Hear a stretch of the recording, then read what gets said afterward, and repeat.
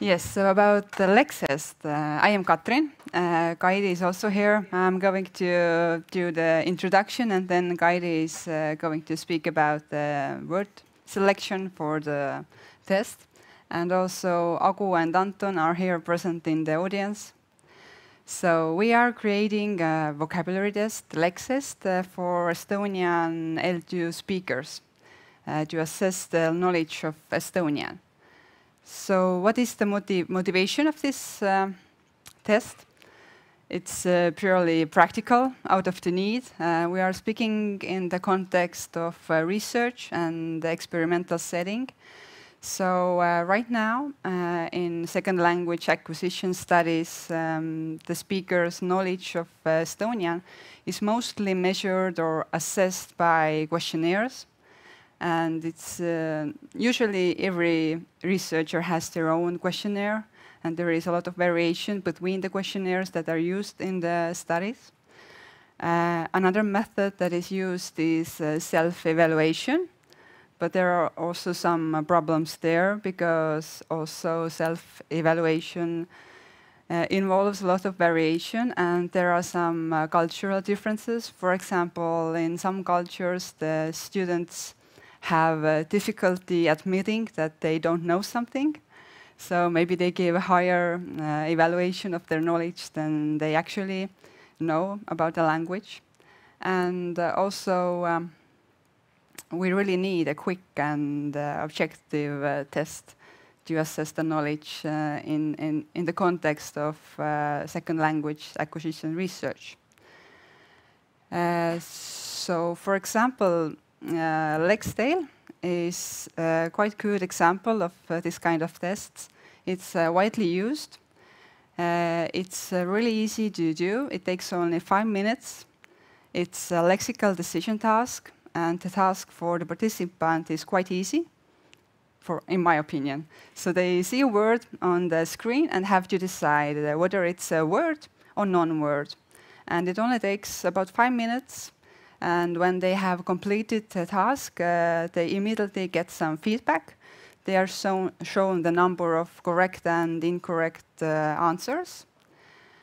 And uh, yeah, and LexTALE is, is widely used in, in studies, and, and other studies have shown that actually the knowledge of uh, vocabulary is really good indicator of the general knowledge of the language. So we can uh, test only one area of the language, and it gives us uh, a wider overview of, of the general knowledge of the language. Um, so LexTALE is meant for um, English L2 speakers and for advanced level, uh, level. But actually, um, studies have shown that uh, those tests can be used for beginners and intermediate level uh, as well and actually for uh, native speakers, for example, for children or for uh, learners or, or, for native speakers with really different backgrounds. And then, as I already mentioned, uh, LexTALE is uh, widely used in, in psycholinguistic uh, studies. Uh, and based on LexTALE, there are other versions developed for different languages. For example, LexITA, which is for Italian, or Lexize, which is for Finnish. And there is a, a version for French, uh, Spanish, Chinese. And uh, right now, the Estonian and uh, Finnish versions are under development. So, uh, what tools do we have at the moment to assess the learner's knowledge of, of language? Well, there are those really long and extensive tests for European, common European framework uh, of uh, references for languages that are organized and carried out by the Education of Youth Board. But if we think about um, uh, research and experimental setting, those tests are really, really long. And they are really exhausting for the participant, and they are really difficult to evaluate for the researcher and sometimes the language test could take more time than the experiment, experiment itself. And to be honest, uh, we don't really have access to those tests. So even if we would want to use them, uh, it's not so easy to use them. Uh, also, the Institute of Estonian Language has some materials uh, online uh, where we can find, for example, vocabulary which is uh, labeled by the proficiency levels. But uh, in order to use them, we have to combine something. Um, so that leads us that there is no standardized, quick, easy test to use in experimental uh, setting. Uh, and, but on the positive side, we can say that the lexical decision task uh, is used in Estonian, and knowing that the LexTALE can be adjusted for other languages, we think that uh, LexEst is a really good uh, tool uh, to develop uh, for the community to use in, in research. And it will be freely available for everyone who is interested. So uh, uh, what are we doing right now and in which stage the development is? Uh, we have done the pre-selection of the words and we have uh, selected the non-words and we are ready to, we are almost ready to start uh, validation process. If everything goes according to the plan, then maybe next week we can go online. And the validation uh, proce process means that uh, we are inviting native speakers and language learners, despite their, or regardless of the language level or native uh, language, to participate. And they, uh, after the collecting the data, we are going to do the final selection of the words, and we are going to select out which are the best words to differentiate um, beginner learners from in intermediate learners and intermediate learners from advanced learners. And we are closely working with University of Turku. Uh, they created the Finnish version, and uh, we have uh, had very many interesting conversations about Estonian, and, and we are uh, consulting them quite often. And they are helping us,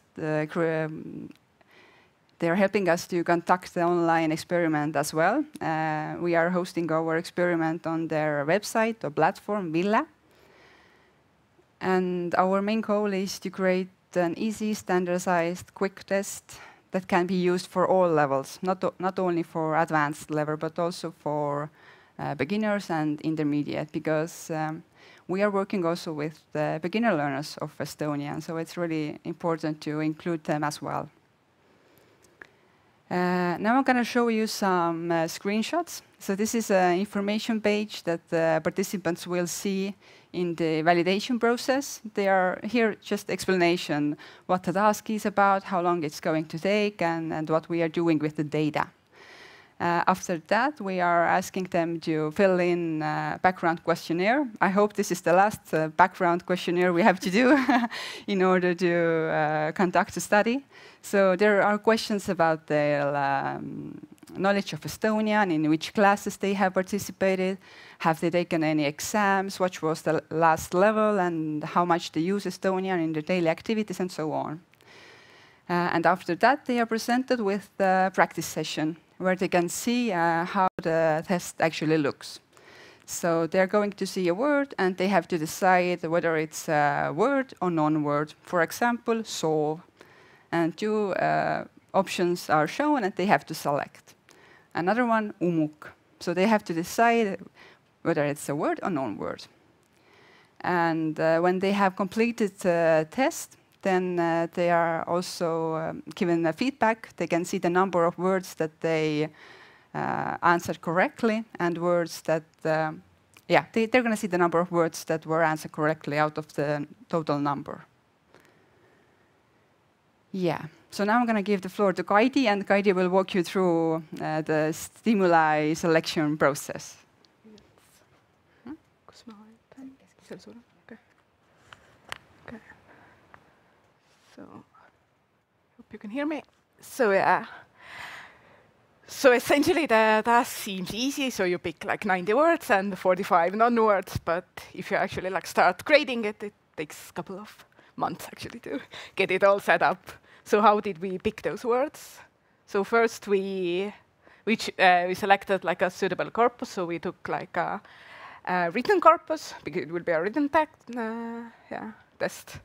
So we took the balanced corpus of Estonian and first divided it into six different frequency bands.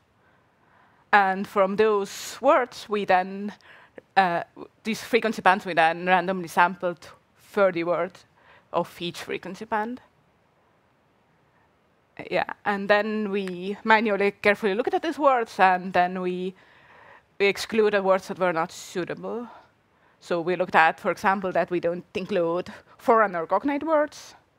For example, like show or clover, because they're like other words that are really similar in other foreign, big foreign languages like English and German.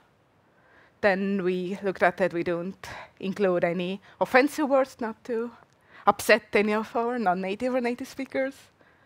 And then we also checked for the ambiguity. So essentially that each of our items in our test would only have like one meaning. So for example, this word load, load is not a good word because it, due to the morphology, it can have two, so it can be either bone or it can be a broom meaning. So those words are excluded. And finally, we this is a part we discussed, like I guess, like a month. This is like, should we exclude like morphologically complex word or not? So on one side, it's interesting because we can study morphological complexity through that test, but like at the final stage, we kind of decided it's we don't want this information because then it would also, like we would test other stuff than only derivation, or, or like we would like test the morphological complexity, not the lexical knowledge. Okay, so what we ended up is then 90 items.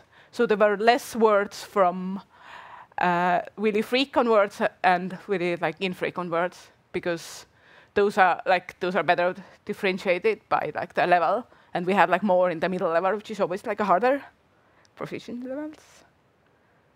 Yes, uh, and this is how the part of speech distribution looks like. So as in a like a Estonian written corpus, there are like there are mostly nouns, then a bit less adjectives, and then a bit more like even less verbs. Uh, yeah, and then we also checked with this EKI second language tools to see if this like our distribution also like reflects their distribution. So you can see there is also the same. There is some some words can kind of reflect the C1, so really high level, and other ones which reflect only A1. So it seems to fit this tool too. Okay. And then similarly, like the pseudo word list, we there we selected 45 items, and it was the similar kind of the process to going through them manually, and then we we we picked new words then from corpus also in different in frequency and length, and then we changed the like some letters in these words so to get a non-word. So if we have a, like a word like Maya, then we change two letters and we got Klaya, which is like a non-word. And we checked that this would be, like it would still reflect the phonotactics of Estonian. And finally, as a final stage, we also checked that there wouldn't be any like foreign words in major other languages. Yes, okay. So for example, we, we expect to have many Estonian speakers who are Finnish native speakers, so we checked that there won't be any Finnish words there, but also like English and German. And then finally we decided it's also maybe good to check for the dialects. So we went to like a dialect corpus and looked at there wouldn't be any. We, we thought our non-words were actually like dialectal words, or also slang words were excluded to make it really like straightforward and simple. Good but yeah, like I said, there were also like many issues how to create and what like aspects you should think about. So first is what is even like a derivation if we want to exclude them, but it's it's in Estonian it's not such a simple task because there is like a some in some cases it's like a clear derivation. You have a like a yeah. Janu and Januna, for example, they are derived clearly, but there are other words which is this boundary of derived or not derived is a bit more not so clear and a bit fuzzy. And also it's like, what, what is actually like a foreign word, right? So there is so many foreign influences in Estonian actually, so it's, when to decide it's, not, it's now a foreign word. So this was what we discussed a lot in our group. And finally, it's what are good pseudo words? So it's just like how, how different they should be from the word, like the actual words. It's, in some sense, it's like good if it, we make the test really difficult and they're really similar, but then it might like become possible for the non-native speakers. Yes. Okay, who do we expect as participants? So first phase for this validation phase, we want essentially everyone who speaks Estonian. So we are, on one hand, of course, we, want, we need like lots of non-native speakers of Estonian of really different language levels and backgrounds, and so we hope to like also advertise it in Estonian, but also abroad. But also, it's, it would be interesting to get like as many native speakers of Estonian as possible. So not only this like highly educated linguists sitting in this room, but hopefully also get like a different background at education level. Some people maybe who don't even have a higher education, right? So we could also see if this kind of test is not also suitable maybe for native speakers. And future, so Finnish version has actually tested the same test with children, and they also show really good results that it actually also reflects how the children learn their native language, and you can like that you can use the test for that. And yeah, and if we still have energy, maybe Estonian bilinguals in Finland is the last group. Okay. So conclusions. So as Katrin already said, there is actually like a really dire practical need for this kind of quick test to assess Estonian uh, second language knowledge, and especially in experimental setting, which which are usually long, so you only have like a really short time period where you can test the test them. So it would be nice to get something something good and something fast. uh, yeah, and like yeah, so there are other tests that are being shown to be suitable for this purpose, and yeah hopefully this yeah, this tool will be then freely available soon and everyone will use. So on first hand, we want to use it for the experimental setting for the researchers, but we also hope that maybe language teachers can use it or also students of who learn Estonian. Good. And then we are website's up, so Anton has been working hard on that. So essentially you can already visit it and see our test stand, maybe. If you notice something you can let us all four of us know so we can still fix it but we uh, officially launch it next week. And yeah and we are grateful we have funding and we look forward to the questions now. Oh yes uh, thank you very much. We have uh, now uh, yes uh, plenty of time for questions uh, so please go ahead. I'm sure. Mm -hmm. Yes, please.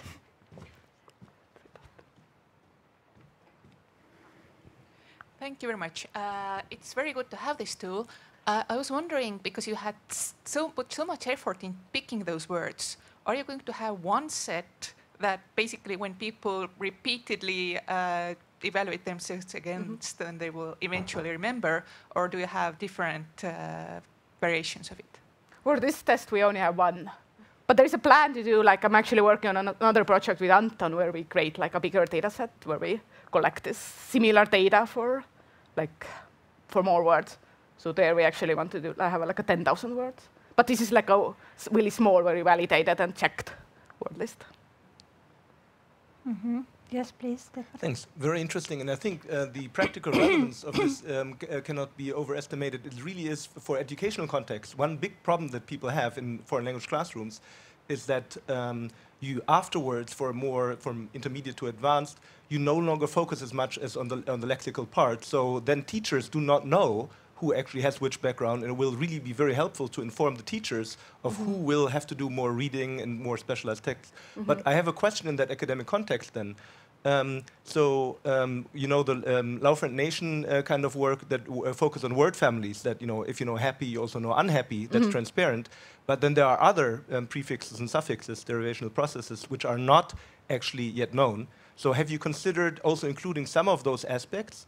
And uh, because then you could also see which of these morphological processes they're yet aware of, and which ones they're not aware of, to then also foster their, in a sense, dynamic uh, vocabulary more. Have you considered that, that you could also branch into um, probing into that to support uh, then also teachers to foster awareness of these morphological processes?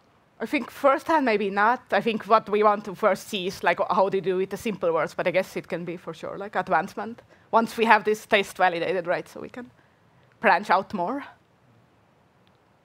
It's a good point because it's like it is Estonian, right? So the morphology is like a really huge part of the Estonian language. So you can't really even differentiate maybe like le lexicon and morphology that much. but the reason, if I can follow up on that, the reason to then include it is Uh-huh. exactly because then the core vocabulary that you some of it you just need to learn by heart. Uh-huh. The other things, once you have understood the regularities, derivational processes, that actually will allow them to grow. Their, um, you know, it will really expand um, the dynamic lexicon in a sense. And Laufert Nation do claim that they have seven levels, if I remember correctly, of um, morphological processes, even for English. Oh. and then they um, they basically say only some of them are transparent and others are not transparent. They have to be explicitly taught. So it has direct ramifications for the educational context. Okay, yeah. We have to read up on that. Yes, Simon, please. Uh, I have a very specific question. Maybe it's just because uh, we have a similar problem. Uh, so why can't you access CEFR uh, tests? Is it because um, of some technical problems or copyright problems or personal information problems? To be honest, I don't know the reason. Uh, I have uh, been looking for them online, but I haven't actually asked from the authorities the rights to use them. But I think it's the copyright mainly. I'm not Mm. sure. Maybe someone no, knows more. No, yeah, actually, actually, you can access them. We have uh, at the moment you have two corpus uh, query systems. One is Emma, Okay. and Emma includes actually like uh, text produced uh, by younger learners. And then in Tallinn University, you have interlanguage uh, uh, corpus, uh, and there you can access also text written by adults. So this data is actually available.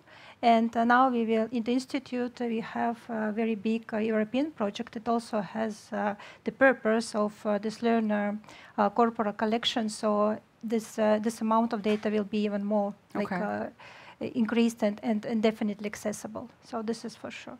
Very good yeah, to know. and maybe it would be. I also thought to s- uh, wanted to say that um, like two questions. Um, um, one is question, another one is suggestion Uh, about this uh, test. This is like reception and production, right? So if you just uh, if uh, uh, learners just have to read the text, so it Mhm. means that you just actually measure this uh, productive, uh, receptive vocabulary, not productive vocabulary. So it's not uh, such as uh, like um, appropriate, you know, for all all. Um, uh, uh, so that you cannot really like uh, uh, measure, you know, like speaking and uh, and uh, so you just only can measure reading and uh, and listening. I mean, like product, Yeah. Yeah. like um, So it's meant to measure vocabulary size, but it's yes, it's like more. it's just it has been shown that you can like like people's vocabulary size is kind of related to how they also yeah, read yeah, but and for, yeah, but for teachers and Yeah, yeah. learners, it's it's important Yeah, to yeah. understand also Yeah, not only course. your productive but also your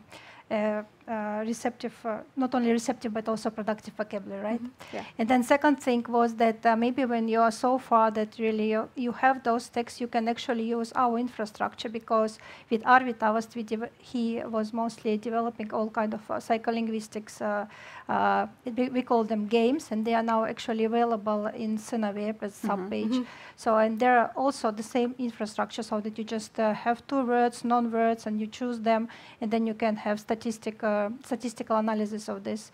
So just Mhm. uh, yeah, we, we Mhm. might uh, we might discuss Yeah. this. Yes. Yeah. For sure. So don't don't build it uh, from scratch. Yeah, we have Yeah. this all Yeah. done. Good to know. um, and also there are some tests also like test test a, a, a environment uh, so that maybe it, it would be also interesting to see what they measure how they measure and to see what kind of methodology you are going to use Mhm. right okay bye.